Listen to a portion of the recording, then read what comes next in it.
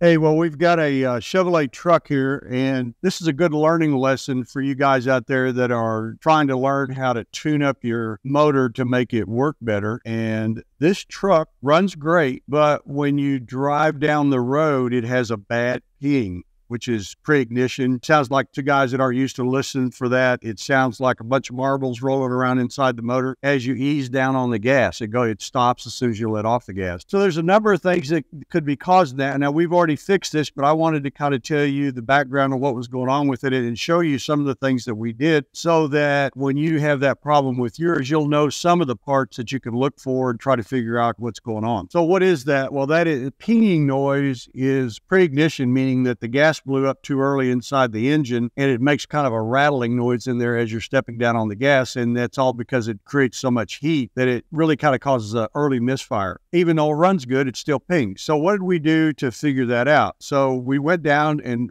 actually took it out and just drove it. That's the first thing you want to do. And the first thing we discovered was the transmission was shifting very quickly. So, you'd take off, and before you knew it, you were already in the last gear, and then it went, went into lockup. So this transmission has the old overdrive transmission with a lockup on the torque converter, and it was done shifting way before it should have been. And we the first thing we did was adjust that so that the shifts were later so that it kind of caught the torque band of the motor and made it shifts more smoothly and run better. And here's how you do that. I'm to let me get the air cleaner off here. Now you might look at some of this stuff here as, as I'm unplugging it. This is a, this is a a hose that goes to a charcoal canister down here, which back in the day was a way that the gas tank vented fumes and then eventually emptied that container and burned it back through the engine. And all these lines that hook up in there uh, are related to that. So most most people were very confused and like myself, didn't particularly like all that. And, and be honest with you, I'm not sure it really worked that well when it was new, and it certainly doesn't do much today. But it does fit your gas tank if it's working properly. It has what's called a purge valve on it that's down there. There's two hoses, and the purge valve right in here uh, actually opens and lets the fumes out that it's absorbed from your gas tank. And it goes up through this line right here, and then the fumes are sucked into the carburetor and burned out as you're running the engine. Then when you shut it off, that purge valve closes and it starts uh, absorbing the fumes from the gas tank. And on all cars, you know that's a that's a problem. If you park your car in the garage, sometimes you you'll smell gas fumes for a while, and that's because the tank's not vented internally; it's vented externally most of the time through the gas cap, and it takes a while for the heat that develops the fumes in the tank to go away. So don't get concerned about that. But if you come back out the next morning and you still smell those fumes, then you want to look into that. But if it lasts for about 15 or 20 minutes, air out your out your garage until it kind of goes away, and then you're good to go. So now what did we do here? Well, this is the uh, right here is the shift cable right here. It's called the detent cable, and it's adjustable back here when you push that. If I can get to it, when you push this right here, you, you can take tension on or off of this cable as you are applying the, the gas like this with your pedal. You can see that it moves that, that detent cable. And if you loosen or tighten it, it will change the shift pattern. One way tightens it, it makes it shift quicker. When you loosen it, it let, makes it shift slower. So that's one thing that you can do. And that's what we did and actually got it where it shifts appropriately. But the um, shift pattern didn't really have much to do with the pinging. So the next thing we did was put an EGR valve on it. Now that's that goes over here on the side of the engine. And on this one, if you can come back around over here, right there is the plate where the EGR valve would have gone. We actually put one on there to see if that would have an effect. Now, what does the EGR valve do? It actually recirculates exhaust gases back into the engine, which reduces the amount of the mixture so it doesn't blow up so quick. It actually cools down the cylinders during the compression stroke and it keeps it from pinging. They marginally work. Uh, they were real bad about one of the things that you'll notice with them if they stick, the engine won't idle well. So you can take a screwdriver and get underneath it and pry it. And if while the engine's running at idle, and if it's working, when you pry up on that pedal, it'll it'll actually make the motor run rough. uh, it doesn't come on. The EGR valve doesn't come on until you stepped on the gas. At idle, it's closed. That's the way it's supposed to work, and it's it's connected to ported vacuum. That means there's no vacuum on the line until you step on the gas. That's ported vacuum. Va- manifold vacuum means it's got vacuum all the time.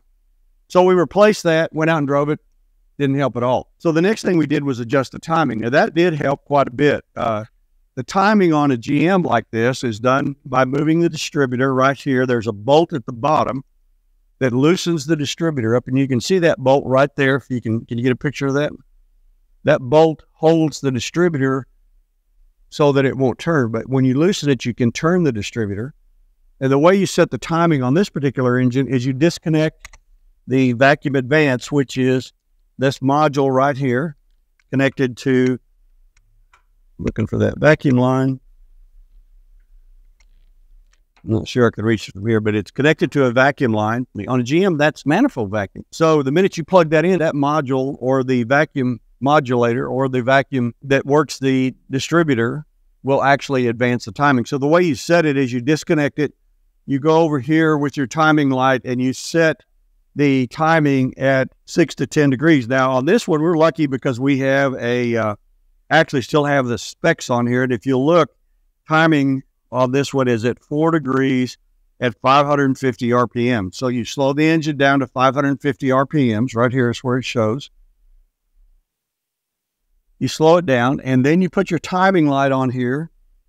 Well, we'll see if we can. If this, that's the other thing that's bad about these vehicles. The, the pointer somehow goes away during your lifetime of this vehicle, and then you're kind of guessing about where your timing mark is. So I'm going to look and see if this one has one. I don't, I don't see a pointer on this. So you're going to have to kind of guess at it and slow it down until it starts running rough, and then increase the uh, timing on it till it starts to smooth out.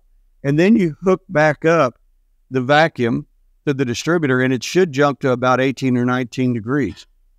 And that's the way the GMs work. You set the base timing, hook the vacuum back up, and it should jump about to 19 degrees. We did that, and guess what? That pretty much fixed it, except for one thing. When it did lock up, meaning that the torque converter locked up and you eased into it, it still pinged. So here's the old carburetor that was on there. This is an early carburetor, or it's actually a, it's an electronic carburetor controlled by a computer and this this was called the MC solenoid, and it tried to control the fuel mixture, which it did kind of an average job at very best. This one had quit working, but we were still not getting enough fuel to the engine. So what we did was replace this with a brand new Holley four barrel. And you guys, when you buy one of these, get an electric choke. Don't get the manual choke. It works so much better. Make sure you got 12 volts coming in right here to the choke and make sure it's key on so it's not running your battery down. It doesn't need to be through the battery. It needs to be come on when the keys are, we put that on there, and guess what? That fixed it. So that, here's the summation of what happened. The timing was not correct. We reset it. The carburetor was not sending enough fuel anymore. It had gotten old and dirty and wasn't working right. We replaced it and we fixed the shift points on the transmission and the pinging went away. So this gentleman's going to be extremely happy with the way this runs because he's had trouble finding anybody that can fix this, and it takes old people to remember how all this stuff works. So the other thing that we're having trouble with while I'm mentioning this is that when you go down the road, you put your foot on the brakes real hard, back end locks up, the back brakes lock up. Now, what could that be? That's probably the proportioning valve. We haven't got to that part of to fix it because we ordered a proportioning valve to fix it. We did take the rear brakes off. We checked the drums. We turned them to make because they were a little bit out of round. But when you stop normally, there's no problem. When you have to stop quickly, the rear end, actually the wheels lock up and squeal. So we're going to put a proportioning valve. Now, what does a proportioning valve do on the brakes?